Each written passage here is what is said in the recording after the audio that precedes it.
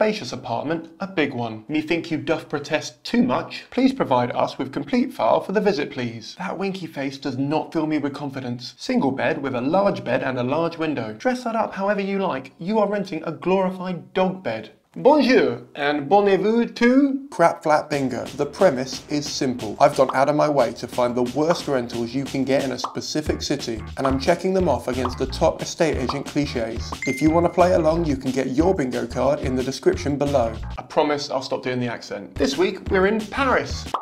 No, not like that. Home to the Eiffel Tower, Notre Dame Cathedral, the Arc de Triomphe, and for the right price, you! Flat 1, 750 euros per month. Located in Paris, good start. This room has plenty of quirky seating. By quirky, do you mean none of it matches? A lie in the description. Fresh sheets will be provided. And by fresh, do you mean straight out of the pack? Wait, what happened to the last bed sheets that meant these had to be replaced quickly? A murder probably took place here. Flat 2, 830 euros per month. Fully fitted kitchen with everything you could possibly need, including a shower by the looks of it. Portrait photos. Do you mind? I'm cooking.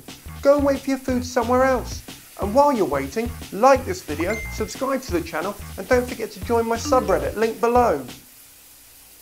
It's small right now, but it is growing. A lie in the description. Portrait photos. The mezzanine floor has a generous bed. That's not a fucking mezzanine. I'll say it now, this flat actually looks quite nice and newly furnished.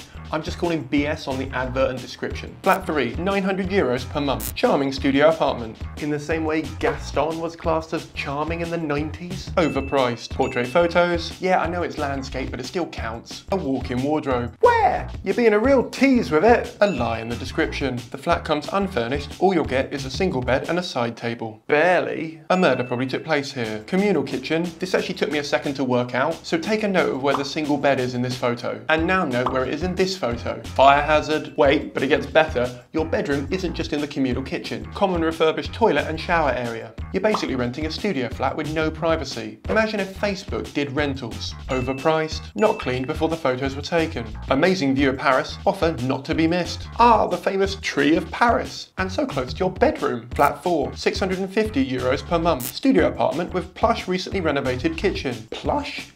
Maybe plush means something different in French. Nope, just means bullshit. Not been cleaned before the photos were taken. A lie in the description. Bed can be found on the mezzanine floor. Not a mezzanine, my friend. Come on, France, you invented that word. How can you not know what it means? Child's bunk bed, luxury ensuite for the lucky renter, portrait photos, fire hazard, flat 5, 800 euros per month, tropical theme room for rent, just minute from Paris. A minute from Paris? I'd say that's Paris. Wouldn't you? Privacy is assured, but there is no lock on the door. By door, do you mean that bamboo room divider?